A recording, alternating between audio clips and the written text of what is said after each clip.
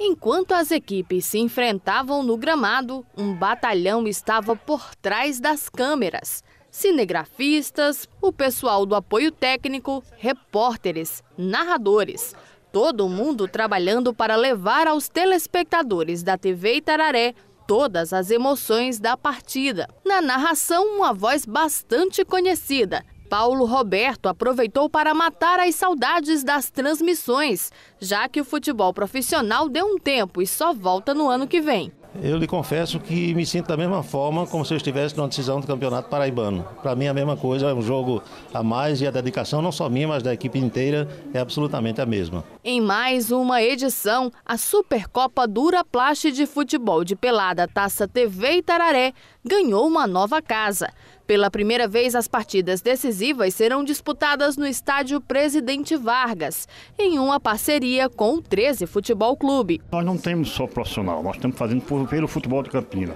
Não vai faltar incentivo da nossa parte, da diretoria do 13, como também para o futebol todo de Campina Grande, tanto amador como profissional. Nós estamos de portões abertos, não é só a, a, a equipe do, do, do 13, não, é o, é o, seu patrimônio e tudo que nós dispõe aqui está à vontade do futebol de Campina Grande. E para quem curte a Copa de Pelada, já vai se preparando. Ano que vem tem muita novidade chegando. Agradecemos, inclusive, a, a, prefeitura que sempre nos cedeu gentilmente lá a Vila Olímpica, a, a torcida do, do, Zé Pinheiro, do Monte Castelo, os clubes que sempre estiveram juntos lá conosco.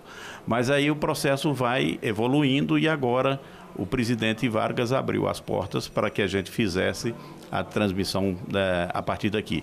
E o ano que vem nós queremos modificar mais ainda, nós queremos atrair mais clubes jovens jovens. Então nós queremos é, que o Campinense, o 13, é, se junte à TV Itararé, se juntem à TV Itararé para que possamos realizar uma Copa Sub-18 a Copa Sub-18 com a presença dos clubes profissionais de Campina Grande e dos clubes amadores da nossa cidade. Então eu acho que vai ser uma nova, uma nova roupagem da Copa é, de Peladas de Campina Grande.